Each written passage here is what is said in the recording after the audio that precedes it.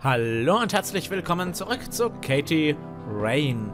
Wir befinden uns jetzt in Tag 2 und wie beim letzten Mal schon gesagt, mir fehlt dieser Notiz auf, dass ähm, Katies Zimmerkameradin uns hinterlassen hat. Hat sie ja gesagt, dass sie das machen will.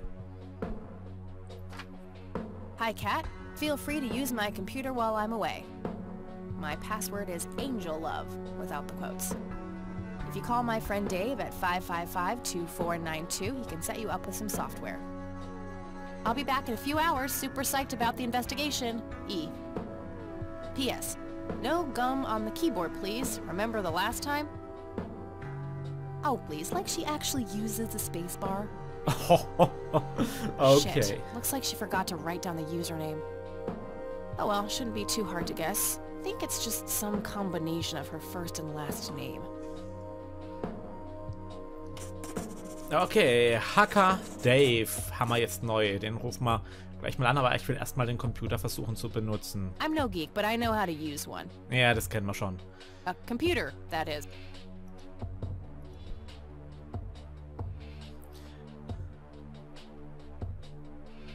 Aus Sicherheitsgründen nach vier fehlgeschlagen. Ja, klasse. Äh, und wir müssen es selber eingeben. Ach.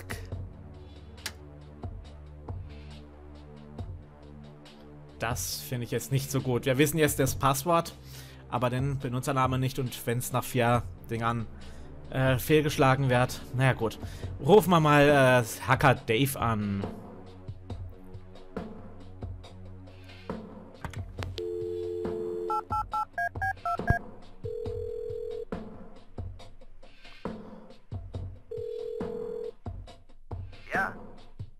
Hey, I'm Kathy. Eileen said to call you about some software.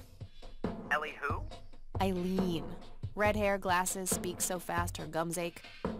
Oh, right. I thought her name was Errol. Figured it was kind of a weird name for a girl. You must have a hearing disorder.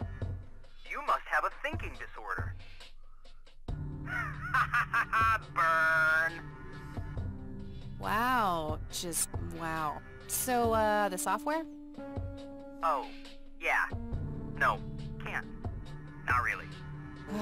I knew she was full of shit. Nah, I mean, sure, I used to be able to get pirated software, but not anymore. There was this misunderstanding and my network privileges were revoked. Me and Clyde, the campus IT guy, don't really see eye to eye. We used to play bocce together and let's just say he is one sore loser.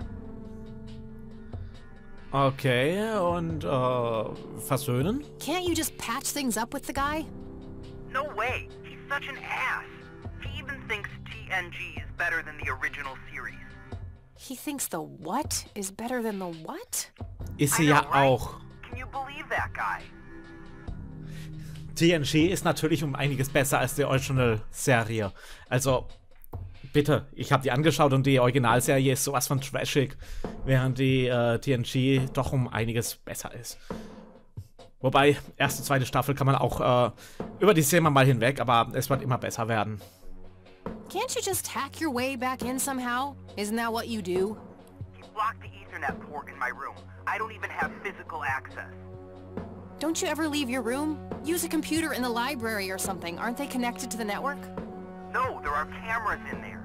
Clyde is just waiting for me to make a move so he can get me expelled. You call yourself a hacker? Just use your brain, for Christ's sake. Let's figure this out. Wow, you're so sassy, Nancy Drew. Well, okay, only an admin account can change the access port. The only way to even theoretically crack one would be if Clyde logged onto a machine to which we have unrestricted physical access. And...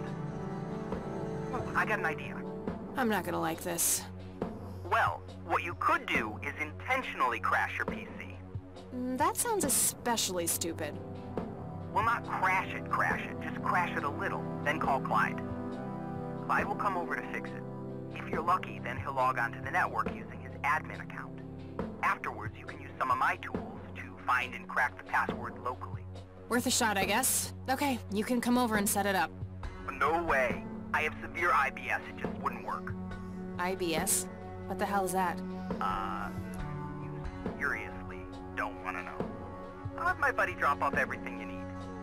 It's not rocket science. You do what I ask, and I'll get you some juicy software. pro quo. Whatever, weirdo. We'll see. Okay. Äh, zurück. Oh, das ging aber schnell. Das ging aber schnell. A thick white envelope.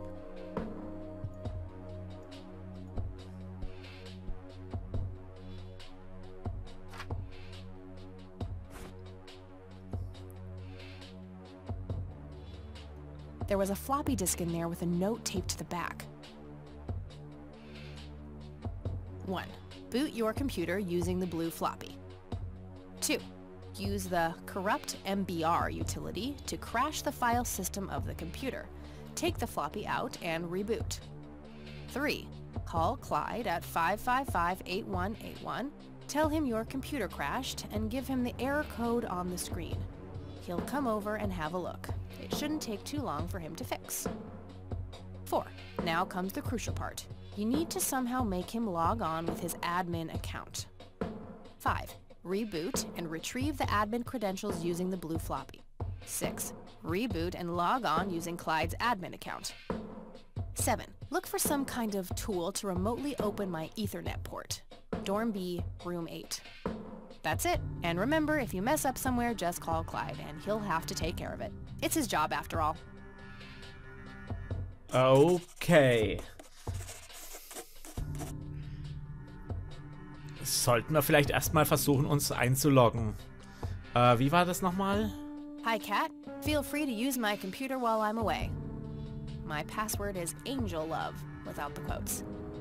If you call my friend Dave at 555-2492, he can set you up with some so super So. step miss.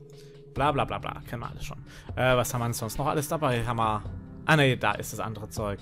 Alles klar. Ähm, ich könnte mir vorstellen, dass der Benutzername tatsächlich Errol war, wie, äh, wie der Dings am Telefon sie genannt hat. Könnte ich mir gut vorstellen.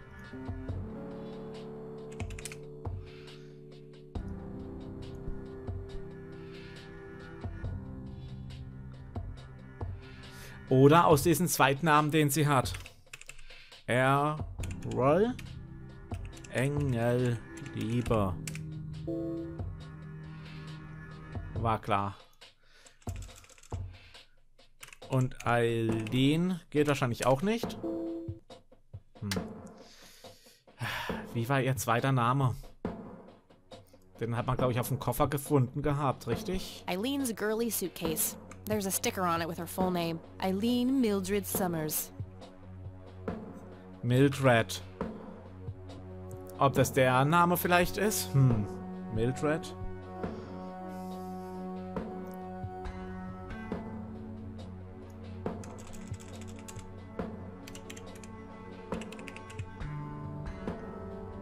Oh, das scheint noch drin zu stehen. Ich gebe es aber nochmal neu ein. Geht auch nicht. Was hat sie gemeint? Ein Zwischending zwischen Eileen und Mildred. Ich habe keine Ahnung. Wüsste jetzt auch ehrlich gesagt nicht, wie man da drauf kommen sollte. Vielleicht kriegen wir da noch irgendwo, ähm, kriegen wir da noch irgendwelche Hinweise da drauf. Na gut, jetzt machen wir erstmal ähm, das hier.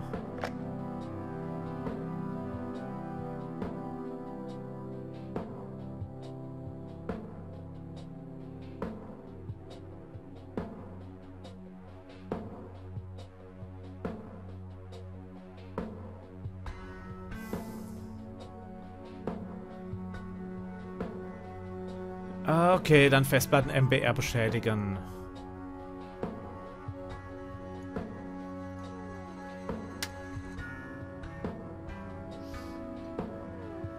Right, time for some expert help. Gut. Dann rufen wir doch gleich mal an. Ah, die Diskette hat sie wieder mit. Jawohl, perfekt. Dann rufen wir doch mal Gleiter an. Vielleicht kann der uns auch mit dem Passwort helfen. Deswegen, dass er sich äh, in die Admin-Rechte einhacken muss, um uns das Passwort, äh, den Benutzernamen richtig zu sagen. Das wäre natürlich auch eine Möglichkeit.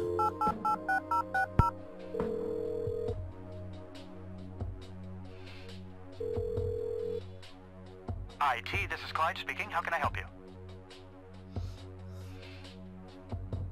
Hi, I need you to come and fix my roommate's computer.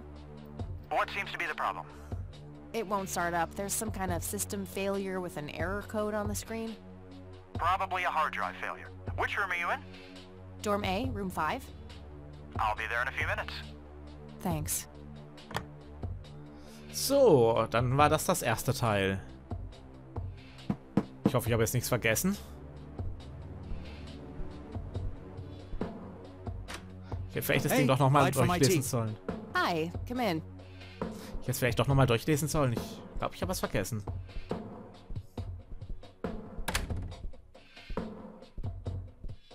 My, oh my, now how did this happen? I have no idea. It was like this when I started it up this morning. Hmm, let's have a look.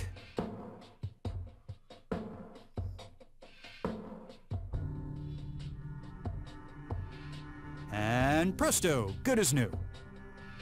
That's perfect. Could could you try logging on real quick just to make sure it works? You go ahead, I'll wait.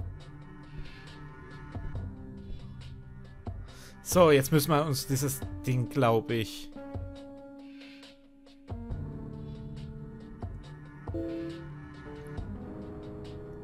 Können wir jetzt irgendwie... Ich kann hier nichts machen. Ah.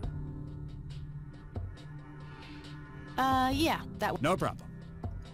Ja, das ging nicht. Da hätte ich wahrscheinlich jetzt irgendwas machen noch müssen. Ähm... Ja. Shit. I have to come up with a way to force him to log on. Ja, genau, der sollte sich ja anmelden. 1. Boot your compute 2. Ja? Use the corrupt MBR 3. Call Clyde at 555-814. Now comes the crucial part. You need 5. Reboot and retrieve the admin credentials using the blue floppy. 6. Reboot and log 7. That's it. Ja, okay. Äh, probieren wir mal eine Sache. Ich kann mich ja nicht richtig anmelden. Fragen wir erstmal. Vielleicht ist es. Fragen wir erstmal nach dem Benutzername.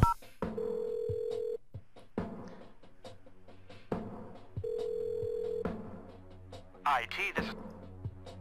I, uh, kind of forgot my username. Well, it's real easy. It's the first letter of your first name followed by your last name. So Jane Doe would be J Doe. Alright, sounds easy enough. Äh, wie war das? I, uh, Well, it's real easy. It's the first letter of your first name followed by your last name. So Jane Doe would be J Doe. alright, sounds easy enough. Mit Punkt dazwischen? Ach, I- verdammt. Well, it's real easy. It's the first letter of your Ah, ja. first name followed by your Okay. last name. So Jane Doe would be J Doe. Alright, Alles sounds klar. easy enough. So. Nehmen wir das auch noch? So, I hear you and Dave had some kind of fight? That's really none of your business. Never mind. Wie bringen wir ihn dazu, sich da anzumelden? Schauen wir jetzt erst mal hier rein. Ich hoffe, das Ding ist jetzt nicht irgendwie kaputt. Also, E. Verdammt. Wie heißt sie? Eileen Mildred. Ähm. Vielleicht müssen wir uns auch mit. Eileen's girly suitcase. There's a sticker on it with her full name. Eileen Mildred Summers. Vielleicht müssen wir uns auch hier äh, mehrmals falsch machen, damit wir nicht mehr ins Passwort reinkommen, damit es gesperrt ist. Das wäre auch eine Möglichkeit. Warte mal, sollen wir es mal ausprobieren? Ich glaube, das könnte ich mal ausprobieren. Dann müsste er wahrscheinlich wieder vorbeikommen.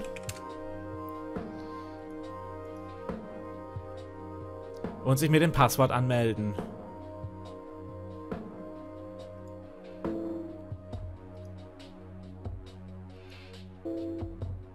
Ja, vielleicht E.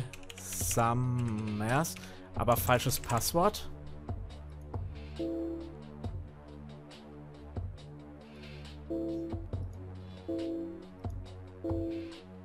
Account gesperrt. Genau.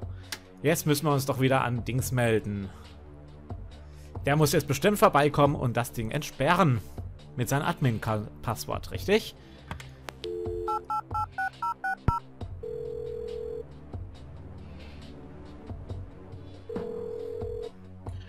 IT, this is Clyde speaking. How can I help you? My account was locked. I accidentally typed the wrong password a few times. Username? E. Summers? One moment. Okay, I've unlocked your account. The password is the same as before. If you no longer remember your password, you'll have to come here and show your ID to change it. Oh, that won't be necessary, thanks. Ach, so viel zum Thema, da muss er herkommen. Das kann er alles so machen. Na gut.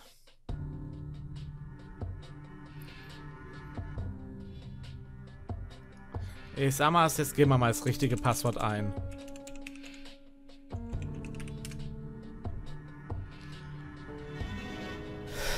So. Diskette leer. Diskettenlaufwerk ist leer. Leerer Scanner, da können wir also Sachen einscannen. Sonst können wir nichts machen. Wir könnten dieses, ähm... Das Bild, können wir das vielleicht einscannen? Ich dachte eher an dieses Bild, das überbelichtete. I don't see how those things work. Hä? Hat es das falsch gemacht? This picture is in good shape. Ja. Dann habe ich doch recht gehabt, dieses Teil hier.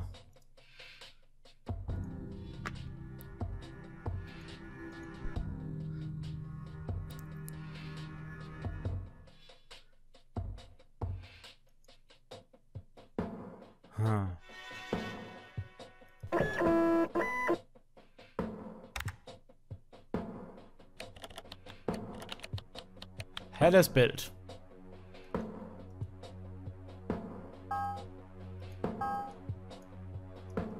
Jetzt brauchen wir wahrscheinlich eine Diskette, auf der wir das machen müssen. Aber wir haben, ja, die andere, die will ich nicht überschreiben.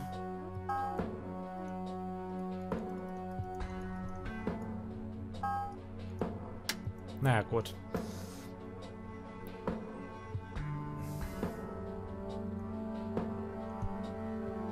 Nehmen wir das Bild wieder an uns.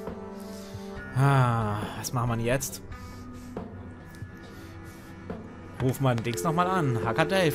Vielleicht kann der uns noch einen Tipp geben, wie äh, gleich sich anmelden könnte mit Admin. Mit seinem Admin-Dings.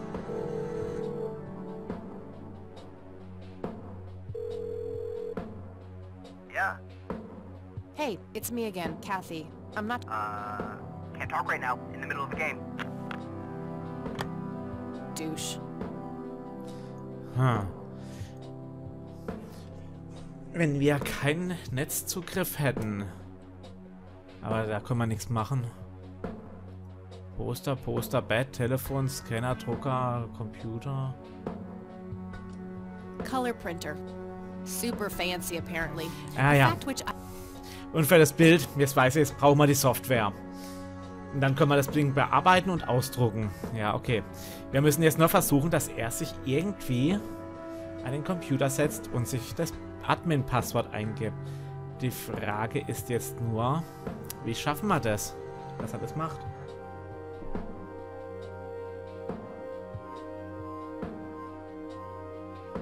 Ich könnte natürlich die Diskette nochmal machen, ihn nochmal anrufen, ihn nochmal kommen lassen.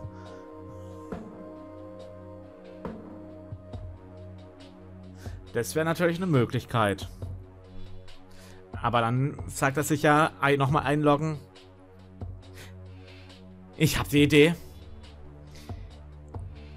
Ich habe die Idee. Ganz einfach. Wir machen das genau so und geben fünfmal das fal- falsche Passwort ein. Dann ist er ja hier und kann es nicht entsperren. Dann muss er sich da anmelden. Uah.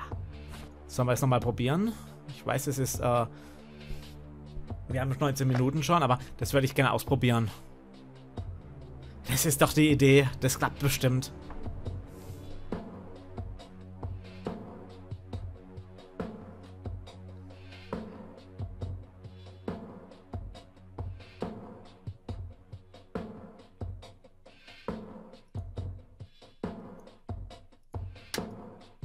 So.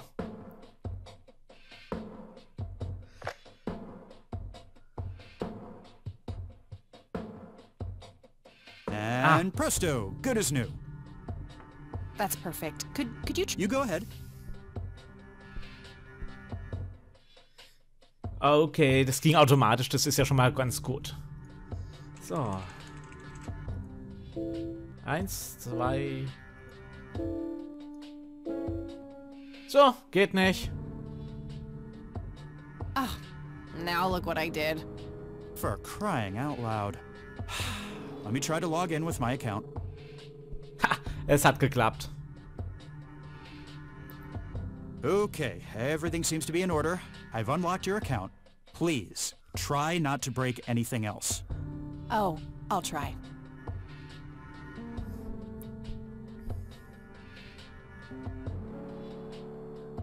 Phase 1 complete.